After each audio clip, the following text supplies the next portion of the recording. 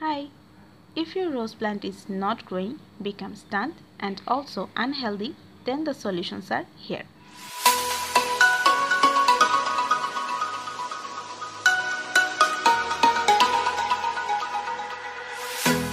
Hello gardeners, this is Nishat and welcome back to another video. Today, in this video, I'm going to share the reasons which are responsible for stunted and unhealthy growth of rose plant and also with the cures. Now there are several reasons are responsible for stunt and unhealthy growth of rose plant. But all of them, six reasons are major. Now I'm going to discuss about those reasons also with the cures.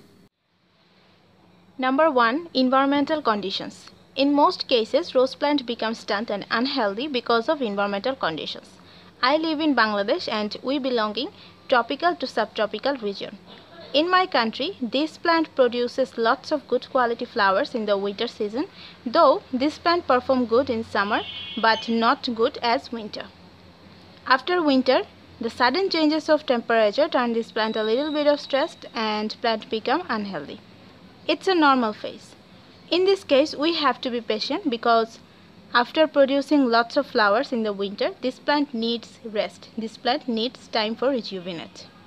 But sometimes we lost patience and start to give lots of food and water. But you know what? This extreme care turned plant more stressed and sometimes we lost our plant. Now look at my plant. About 15 days ago I have shared what types of fertilizers should use in this summer and other managements and this is the result. But honestly speaking, this happened not only for the summer fertilizer but also for the weather. It has been rain for a week. Rainwater contain nitrogen and sulfur and also provide moisture and coolness around the plant. Both rainwater and summer fertilizer together turn this plant healthy and beautiful. Now if your area do not get any rain, then don't panic. Plant needs time for adaptation.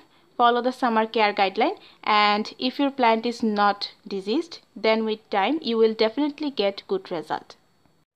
Number 2. Insect, bacteria, fungi and virus attack.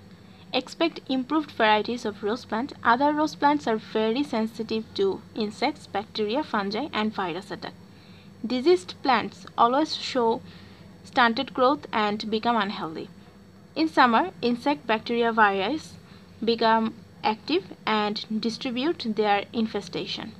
So if your plant is diseased, then based on infection, use insecticide fungicide and bactericide. And after using this, keep plant in a cool area. Place the plant in an area where it will get about 3 to 4 hours of sunlight. For recover, it will take about 15 days to 2 months sometime. Number 3. Nutrient deficiency. Nutrient deficiency also responsible for slow growth of rose plant. Roses are heavy feeder plant. Every month they need something or other foods. If plants suffer from nutrient deficiency, the symptoms will be visible in the leaves at first. In case of nitrogen deficiency, mature leaves will turn lighter green to yellow. In case of phosphorus deficiency, leaves will develop dark red to purple hue. In case of potassium, leaves edges will develop necrosis or burning. All of them, nitrogen deficiency mostly shows stunted and unhealthy growth of roses. Now, if you are not supplying food properly, like you give food about 2 months ago then you didn't, your plant can be suffer for nutrient deficiency and will become stunted. In this case, fertilize the plant using nitrogen rich fertilizer. Now weather is hot, so try to use organic nitrogen based fertilizers. Number 4. Watering. Less watering or overwatering affect the growth of rose plant.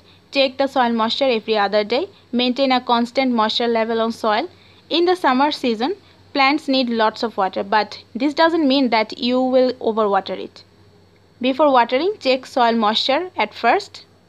Proper watering keep the plant's roots cool and make the nutrients available for plants.